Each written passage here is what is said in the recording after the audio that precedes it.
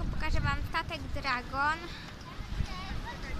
Y, Dzisiaj statki nie wypływają na morze, ponieważ są duże fale.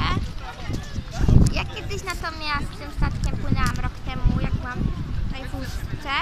Bardzo fajnie się płynęło, więc polecam Wam tu przyjechać się przejechać. Dala się ten statek tak prezentuje.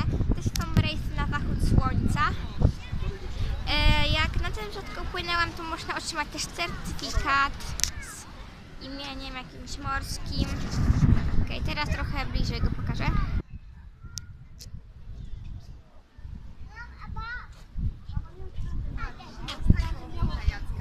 To jest piracki statek dawniejszy.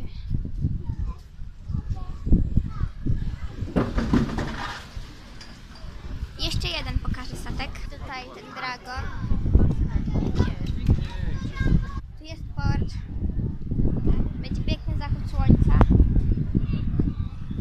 Jest Baltic Lady 2.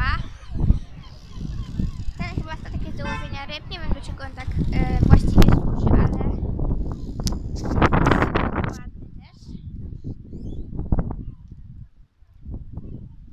E, No jeszcze